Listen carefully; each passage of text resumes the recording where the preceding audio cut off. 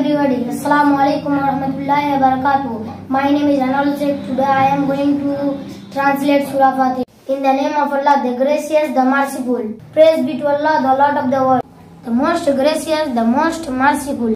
Master of the day of judgment. It is you we worship. And upon you we call for help. Guide us to the straight path. The path of those you have blessed.